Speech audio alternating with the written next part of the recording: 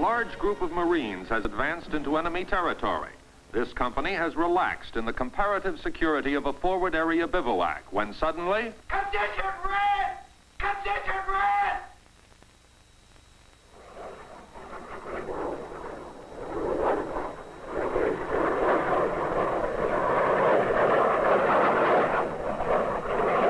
The enemy has opened a chemical attack, and some of his gas has probably contaminated food in the supply dump.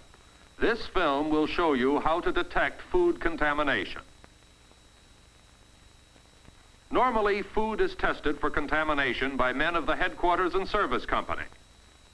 The medical department is also concerned, since later it will have to certify that food supplies are or are not fit for consumption.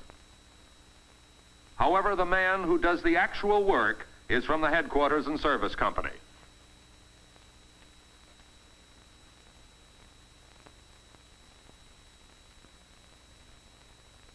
If possible, find an uncontaminated atmosphere where you can prepare reagents for the tests, as described in the manual.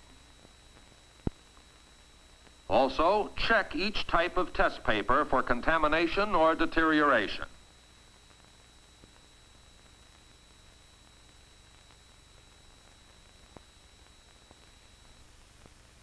Perform the tests upwind from the supply dump in an area free of gross contamination.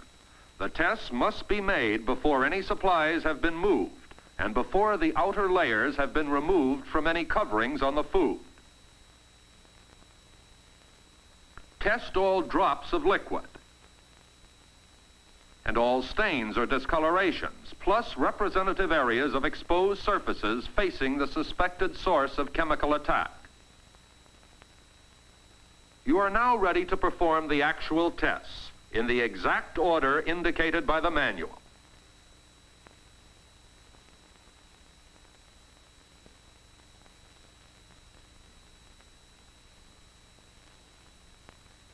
To start the G-Agents test, take one test paper from the open tested packet with the yellow dot. Always hold the papers as close to the end as possible when handling.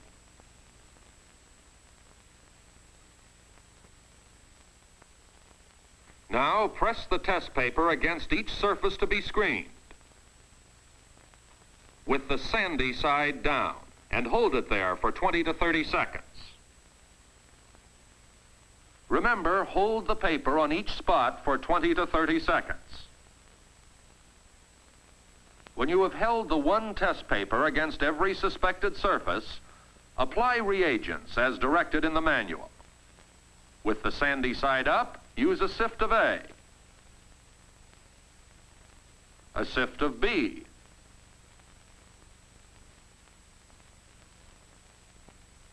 a drop of E,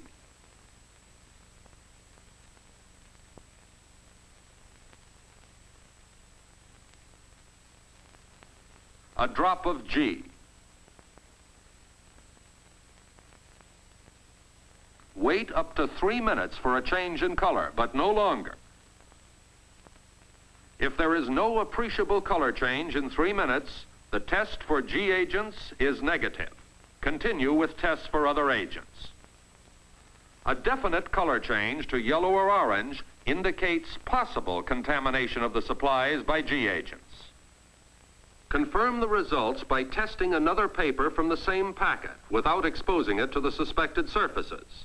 The papers themselves may have become contaminated since you checked them. Use the same reagents.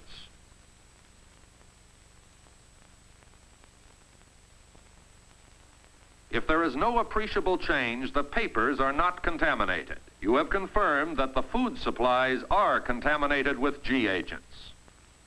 If a definite yellow or orange color appears, the papers themselves are contaminated. Discard the entire packet and open a new one. Test one paper from that packet. Keep testing until you find a packet that is not contaminated.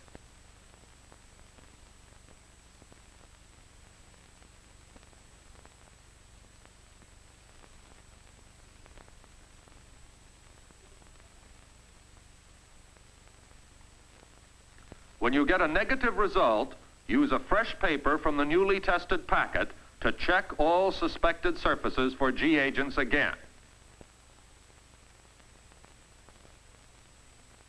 This time you can depend on the results. Stop all further tests and start decontamination if the results are positive.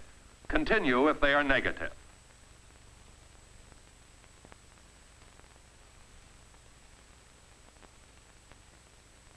For the mustards and cyanogen chloride test, use a test paper from the open tested packet with the blue dot.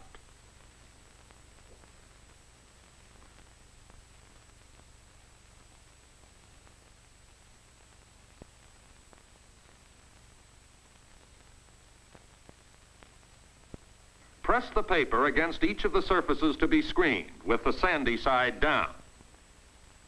Again, hold it on each surface for 20 to 30 seconds.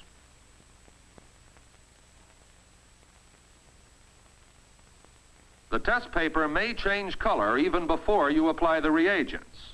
A yellow or red color on the sandy side indicates the presence of cyanogen chloride. Even if the color is present, continue testing for mustards.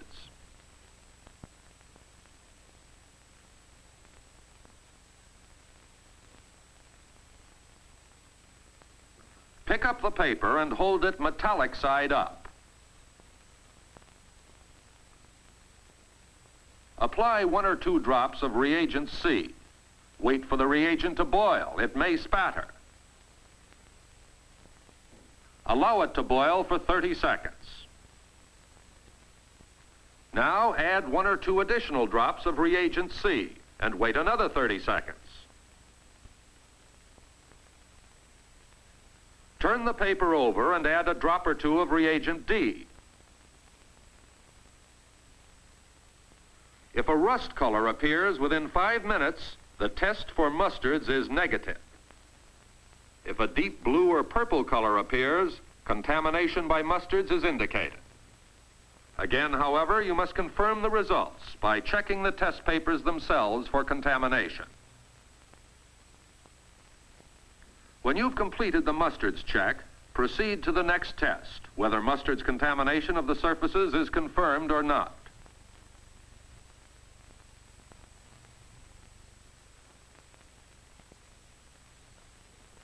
Begin the test for arsenicals by placing a small amount of reagent E on each of the suspected surfaces.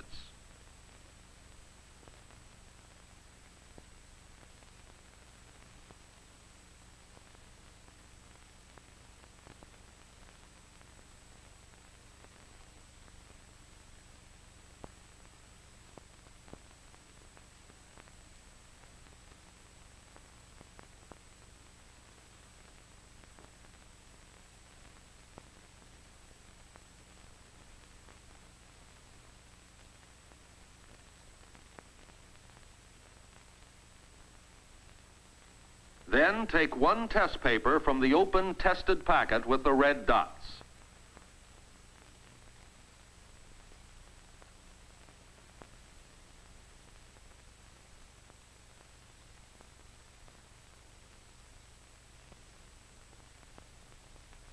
Press it against each of the surfaces to be screened. Hold the greenish side of the test paper against the spots moistened by reagent for 20 to 30 seconds each. After holding the paper against the suspected surfaces, watch for a color change.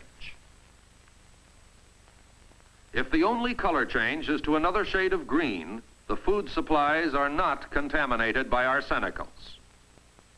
If yellow or orange or any shade of red appears, contamination of the surfaces by arsenicals is indicated. Once more, confirm the results by checking the test papers for contamination.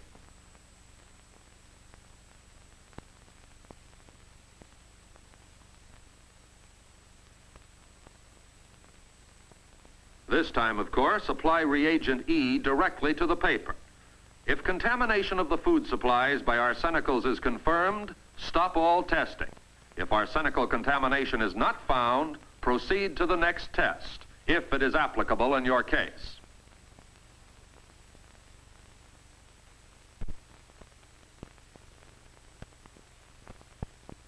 The detector crayon test differentiates between mustard and nitrogen mustard. Use it only if mustards were found and G agents and arsenicals were not. Take the detector crayon from its plastic cover. Take a piece of white notepaper from pad H in the kit.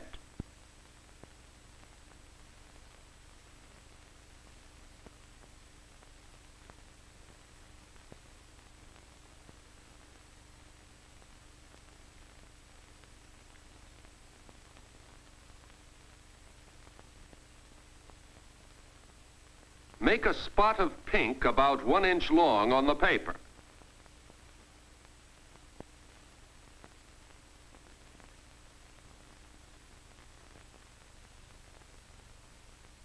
Press the pink spot against every contaminated surface, holding it about a minute on each one. Watch for a color change after each application. If there is no change in color, assume contamination by nitrogen mustard only. If the pink spot changes to blue, assume contamination by mustard or by a combination of mustard and nitrogen mustard. This is the last test for contamination of the food supply. Conclude the job by repacking the kit.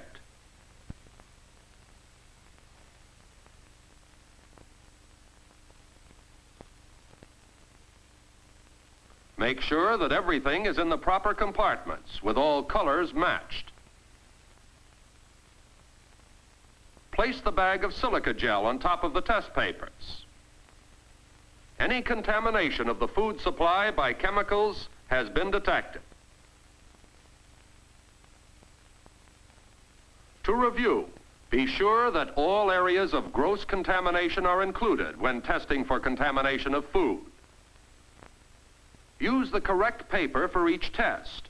Papers in the packets marked with yellow dots are for the G agents test. A definite color change to yellow or orange on the test paper indicates contamination of supplies with G agents. Use papers from packets marked with the blue dots to test for cyanogen chloride and mustards. A yellow or red color on the paper indicates contamination with cyanogen chloride. A deep blue or purple color indicates contamination with mustards. Use papers from packets marked with the red dots to test for arsenicals. Yellow, orange, or any shade of red on the test paper indicates contamination with arsenicals. Use the detector crayon to differentiate between mustards, but only after obtaining negative tests for arsenicals and G agents. Color a piece of white paper from the kit with the crayon. If there's no change in color on the paper after exposing it, contamination with nitrogen mustard only is indicated. A change of color from pink to blue indicates contamination by mustard or by a combination of mustard and nitrogen mustard.